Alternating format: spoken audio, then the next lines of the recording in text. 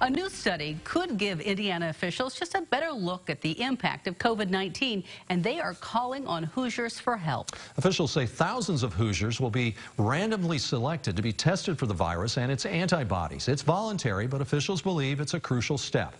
Demetria Sanders joins us now with what officials say the test may show and how it may impact future decisions. Beginning this weekend, thousands of randomly chosen Indiana residents will be asked to test for COVID-19 and antibodies which may reveal if a person has had the virus in the past.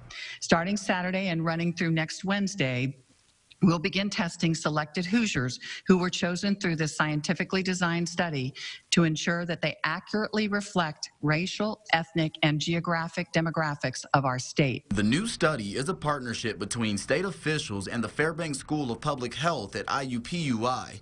The study calls for at least 5,000 Hoosiers to be tested during four separate phases, with the latest being in April of 2021. Doctors with the Fairbanks School of Public Health say the random testing could give a better view of the overall impact of COVID-19 in Indiana. If we're only testing people with the most serious symptoms, it seems like we're only looking at the tip of the iceberg.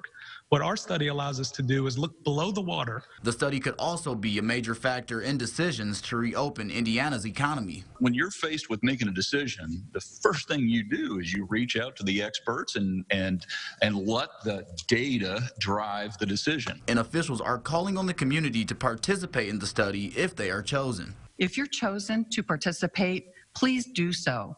The validity of this study really depends on us having an accurate representation of all Hoosiers all across our state. Box says those selected for the study have been contacted as early as Thursday via postcard or email. Tests will be conducted at eight fixed sites and 10 mobile RV sites, with the nearest one being Vigo County. With local news that matters, Demetria Sanders, WTWO.